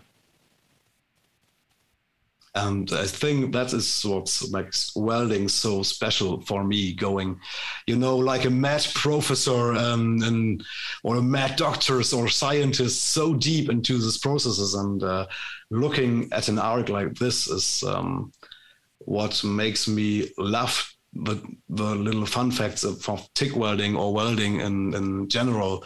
You know. Um, 20 years ago, it was just like electricity and the piece of, of wire which is came in, which came out and then forming two metals together. And nowadays, um, we look at this so specialized and and so in detail that I really have to say it's, it's awesome how this all came out. Yeah, and I, I don't know about you, but like that's the thing with me with welding is like it's it's a rabbit hole. No matter which process you pick, there's there's a rabbit hole you can dive into, and you can get much deeper into the fundamental understanding. Yeah. And like the chemistry and the metallurgy and all the shit that we didn't want to learn, like over here stateside anyway, the stuff we didn't want to learn when we were in high school, the math, the science, the the metallurgy, the chemistry, the stuff that didn't make any sense. Now I can I can start deep diving into those different aspects of it and understand welding at a, a deeper level. And yes, that's the coolest that's right. thing about welding is like the more you learn about welding, the less you actually know you think you know about welding. because there's there's more science and there's more experiment or experiments that, that have backed up, you know, the, the thought process behind a lot of this stuff. Yeah, yeah. You know, um, I've got in contact with Wolfram Industry, um, who who make tungsten um, like you know hundred years ago or so, and um, these guys are specialized in tungsten. And I had a video call with them, and I said, "Hey, I want to learn something about tungsten. Mm-hmm. Not only the you know." Uh, 2% lanthanated or 1.5 lanthanated. I want to go in detail. And they said, "Hey, yeah, we can hook you up and, and can show you something." And um, but we need eight hours of time. And I said, "Hey, I just want to know something about tungsten." yeah, yeah, we make tungsten. We do that stuff like 50 years ago, and we made the tungsten that um, that were used to weld the stuff from the NASA to to fly to the moon. And yeah, you know, and I said, okay, okay, and I took these eight hours, and man, man, man, man, I, freaking mind blowing stuff these guys told me. But um, after that, I got some time on my welding machine and just looked at my tungsten and started to think different about arc starts, about arc wandering. So, you know, um, going so, so deep in detail um, helps you in special situations when you have to weld critical stuff or you want to make the perfect weld because you've got the knowledge in your head and yeah. experience. That's like when you try to explain, you know, the different balance, you know, with yeah. with the tungsten electrode. It's like tungsten, pure tungsten melts at 5,280 degrees. And if you weld on DC positive, you're you're putting 10,000 degrees Fahrenheit into that tungsten. Well, yeah. it melts at 5,280. Yeah, it's going to melt your tungsten the higher you go in balance. You know, so if you want more cleaning action, the higher cleaning action you go, the bigger diameter tungsten you need to an extent. Otherwise, it's going to melt your tungsten. It's like having that fundamental knowledge, you know, that that makes you a better welder. And the cool thing is, I, th- I think they actually manufacture tungsten in Germany. So if you could team up with one of those companies and like actually tour their facility, I mean, you'd be like ages ahead of a lot of people. Yeah, that's right. That's right. You know the the point we had earlier with the um, two point uh, two point uh, lanthanated, the yeah. blue tungsten, um, where I said um, the lanthanum starts to burn from the tungsten. Mm-hmm. I've got this knowledge from these guys. Uh, you know, they told me, hey, um, you know that thoriated tungsten thorium holds up to like so and so much degrees and and um, that is uh, information you don't get yourself. You have to talk to like these expert guys who only do tungsten to learn the stuff. Yeah. But it makes me a better welder and a better teacher. Yeah. That's like a lot of people trying to run, you know, pure tungsten on an inverter. Yeah. And it's, it's like it's it's not good for the machine. And they're like, well, why? Like, fuck, I don't know. But there's there's people out there that, you know, manufacture this shit that have tested it. they say it's not good to do it on the system. Yeah, we had this um, discussion also. Um, I have a lot of customers, you know, mainly from the hobbyist range, who came in and hey, I bought a machine and and I have got two tungsten. I've got a gold and I've got a, a green. Okay, give me that green tungsten. We put it into the garage. Why? Everybody says green is for for aluminum. No, it was back in the days on a transformer. Yeah, on a transformer rectifier, um, it's it's a great great setup. But on the inverter machine, you have a square wave. Mm-hmm. And mm, for most reasons or for most applications, we use square wave welding. And if you take a green tungsten, put it into that machine, that square wave won't be a square wave anymore. It always tries to become a sine, a sine wave. wave. Yeah. So, so it's right what you say. Um, you are destroying your inverter because you are you are pushing it to to something it doesn't want to do. So don't use a green tungsten on an inverter machine, but um, many people don't get that. Yeah, you're you're taking your Mercedes now and you're you're dropping it back down to a Volkswagen. Yeah, yeah, yeah that's right. Damn. So uh, I was I was having a, a, hard time explaining it to my instructors the other day because they're like, oh no, like green tungsten. It's like, no, you don't want to use that on an inverter. Yeah, it's it's absolutely bullshit. But um, you know, TIG welding was was uh, invented, I think, in the fifties or, or sixties, like like heli arc welding, mm-hmm. and and and they had to find a way to weld AC, and and that's what worked.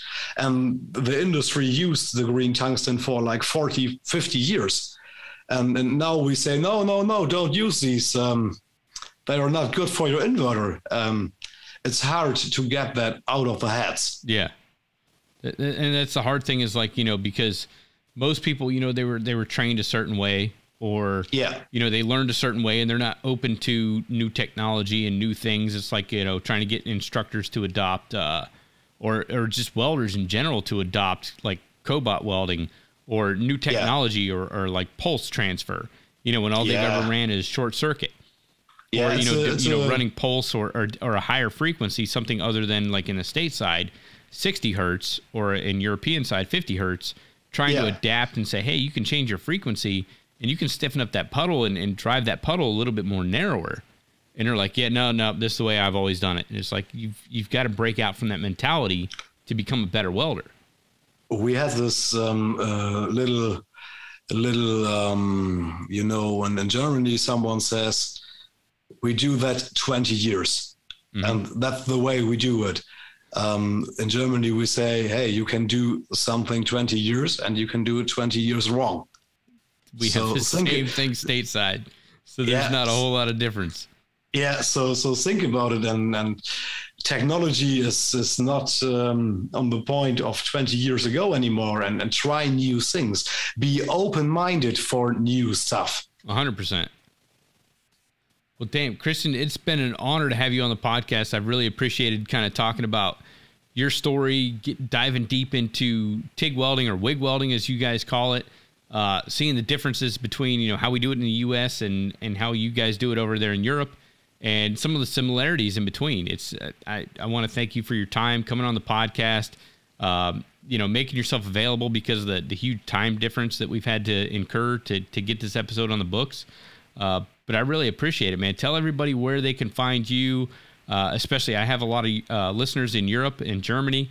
Uh, tell them where they can find you if they want to reach out and take some of your classes, or you know, just contact you one on one and uh, kind of get a more in depth understanding of uh, of wig welding. Well, uh, first, thank you for having me on, and it was a real honor to be on here on the podcast. And uh, if anybody wants to contact me, the easiest way always is Instagram. Um, just search for Deichwerkstatt, and you'll find me on there. You're, you're gonna have to spell that out, man. Oh, oh, I think I just wrote it in the Instagram story and sent it to you. That's the easiest way, I think. okay. No, that works great, man. Thank you so much for coming on the podcast. I really appreciate your time, and uh, like I said, staying up late to be able to to be able to record this episode. Thank you, man. It was a really honor. I appreciate that. All right, ladies and gentlemen, that is all I have for you for this week's episode. Be sure to tune in tomorrow for another episode of Just a Tip Tuesday right here on the ARC Junkies channel. Be sure to stop by the website, arcjunkies.com, and pick up some show merch and show your support for the show. I hope you all have a great week Stay safe out there, and until next time, make every well better than your last.